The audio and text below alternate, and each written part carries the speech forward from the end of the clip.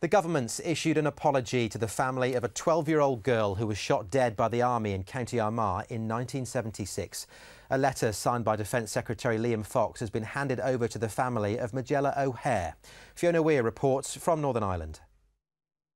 Majella O'Hare from Whitecross in South Armagh was on her way to church on the 14th of August 1976 when she was hit in the back by a bullet. At the time, Private Michael Williams of the 3rd Battalion, the Parachute Regiment, claimed he had fired in response to an IRA sniper attack.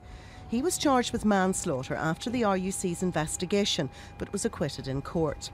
The letter signed by the Defence Secretary corrects the Army's account of the incident and acknowledges the soldier's courtroom explanation was unlikely. This is only the second time an apology has been offered for incidents involving the Army during the Troubles in Northern Ireland. The other was last year in relation to the Bloody Sunday killings of 1972. The family says the apology's been a long time coming. I have to say that um, it would have been better had we had it uh, some time ago, but it still doesn't alter the fact that Majella has died as a result of their actions, and um, that that will never be able to be resolved. So we have to just accept that for what it is, and um, just try and bear up under the strain of it all and move on.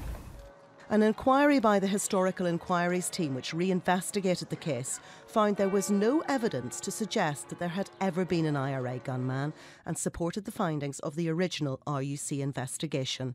Fiona Weir, Forces News, Northern Ireland.